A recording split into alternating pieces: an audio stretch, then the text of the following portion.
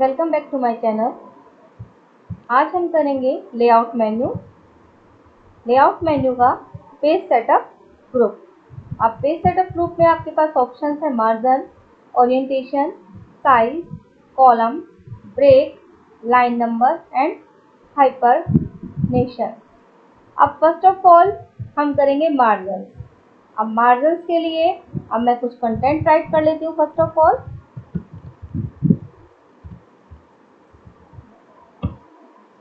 ये कंटेंट हमने राइट कर लिया है।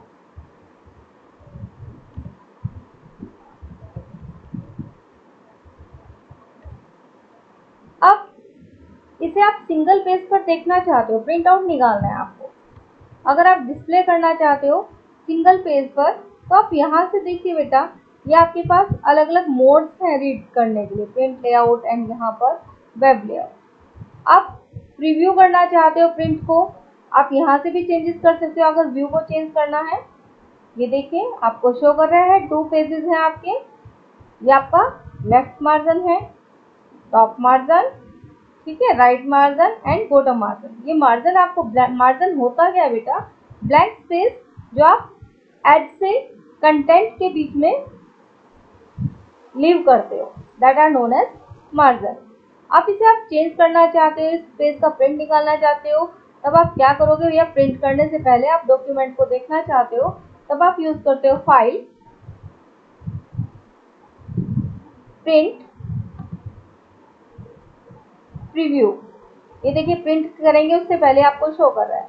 आप यहाँ पर देखिए बॉटम मार्जिन तो बहुत एक्स्ट्रा है आपके पास पर टॉप मार्जिन बहुत लेस है। तो आप इसको इंक्रीज करना चाहते हो। तो आप इंक्रीज कैसे करोगे? इसमें पेज नंबर वन टू आप ऑल पेजेस देख सकते हो। सेटिंग पेज है, इसका भी इसी तरह से सेटिंग्स है। आप ये सेटिंग चेंज करना चाहते हो। तो आप उसके लिए यहाँ से मैं इसको आउट कर रही हूँ। ये सेटिंग चेंज करनी है देन आप सेटिंग चेंज करोगे मार्जिन में जाके। क्लिक हेयर आप इसमें पहले से बने हुए मार्जिन है कि आपको टॉप लेफ़्ट बॉटम राइट ये चेंजेस करना है। वन वन देना है पॉइंट फाइव देना है। इसमें से कोई आप यूज़ करना चाहते हैं तो कर सकते हो। अदरवाइज़ आपको क्लिक करना है कस्टम मार्जिन पर।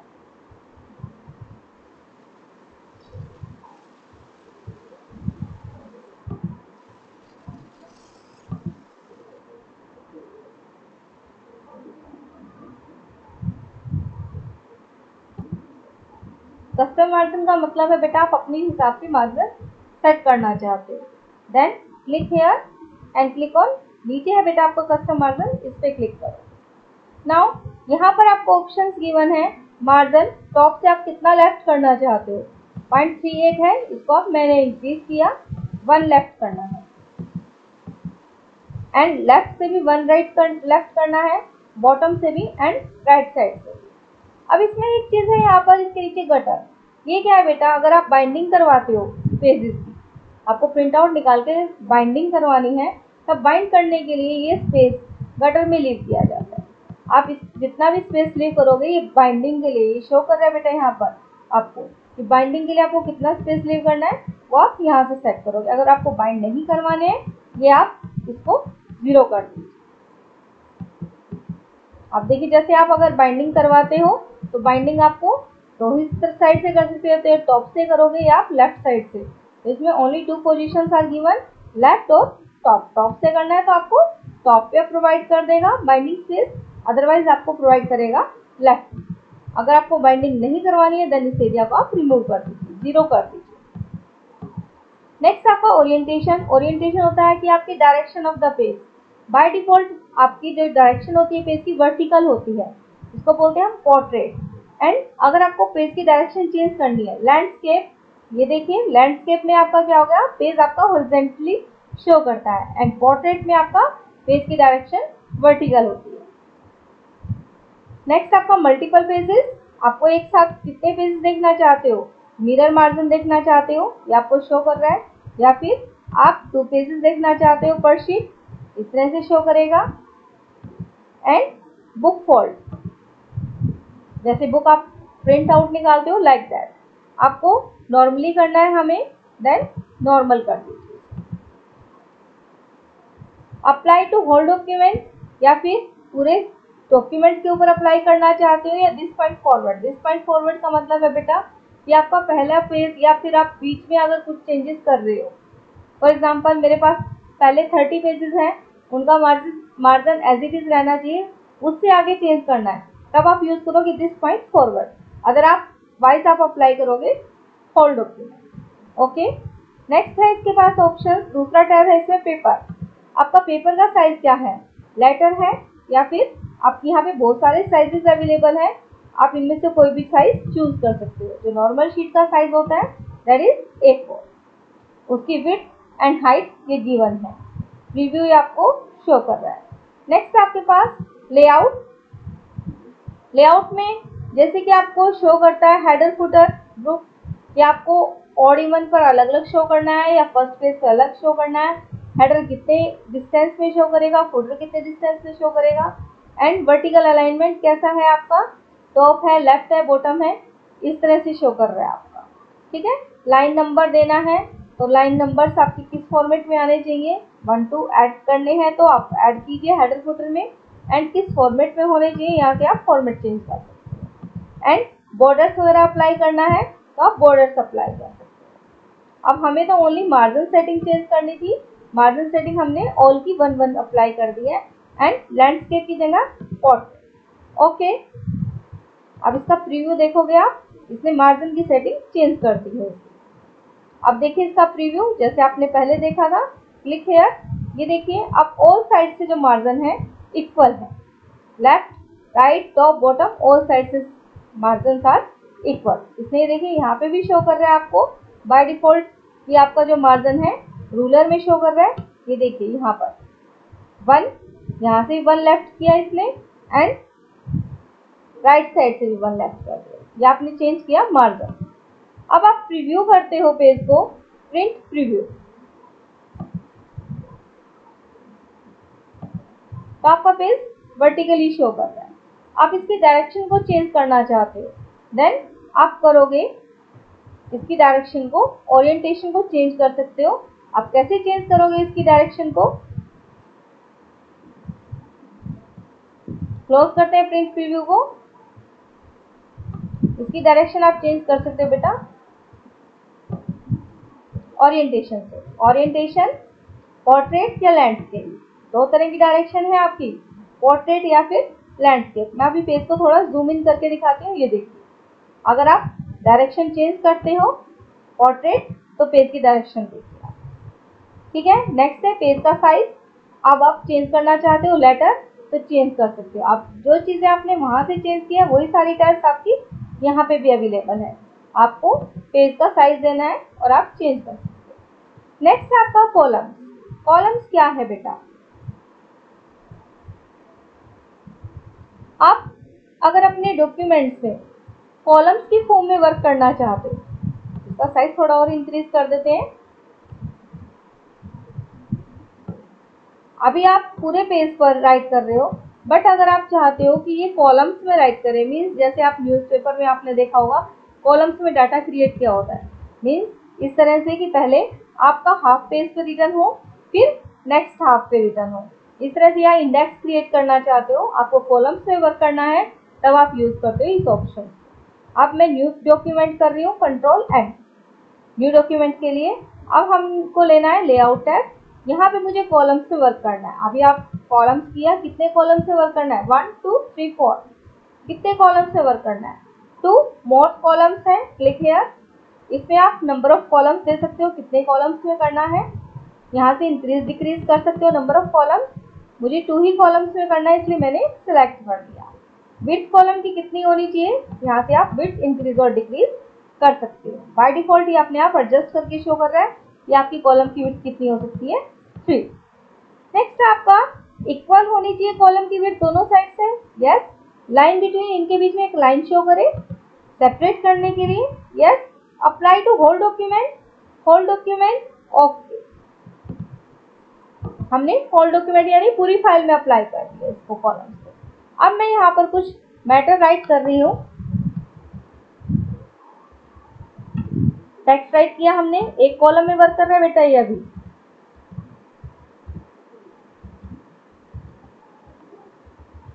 ये देखिए। जब एक कॉलम फिनिश होगा, तब आपका कर्सर दूसरे कॉलम में मूव करेगा। अदरवाइज़ ये दूसरे कॉलम में कर्सर आपका मूव नहीं करेगा। एक पेज पर आप देखिए यहाँ पर, अगर आप चाहते हो कि नेक्स्ट कॉलम में आपका कर्सर चला जाए अब आपको यहाँ तक लिखना है अब यहाँ पे क्लिक करती हूँ मूव करने के लिए, देखिए आपका कर्सर यहाँ पर नहीं आएगा।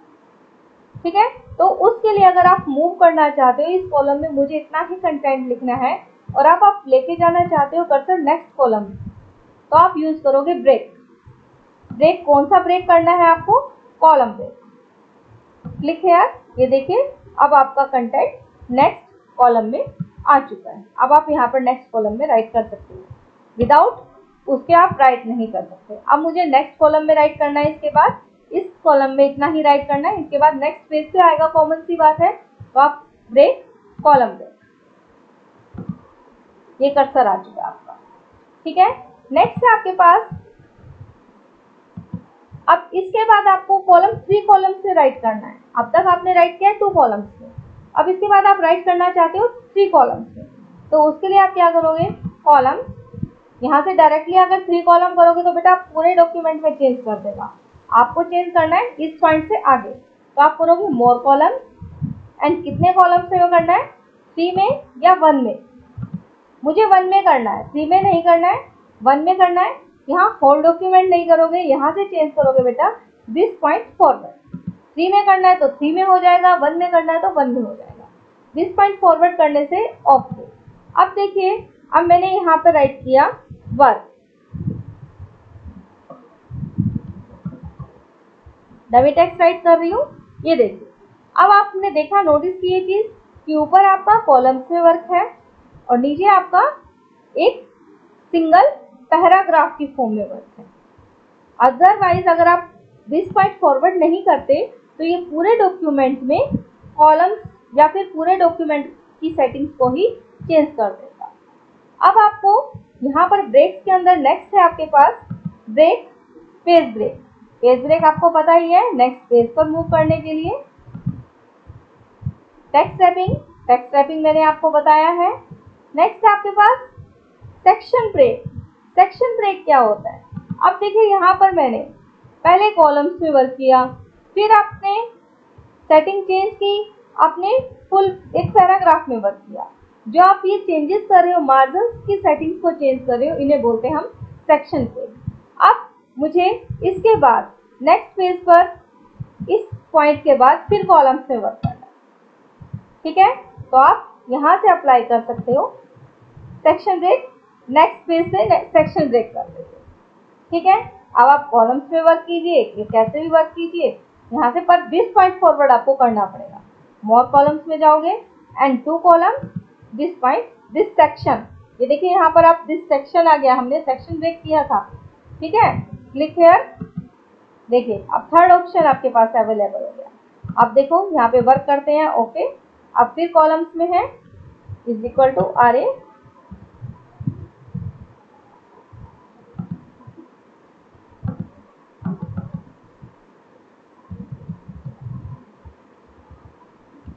ये हो गया। अब इससे ऊपर चेक करते हैं वर्क आपका पैराग्राफ की फॉर्म में है। ये देखिए बेटा और इससे ऊपर आपका कॉलम्स में वर्क ये आपका क्या हुआ? सेक्शन ब्रेक ठीक है? अब नेक्स्ट कॉलम में मूव करना है देन आप क्या यूज़ करोगे? Column break okay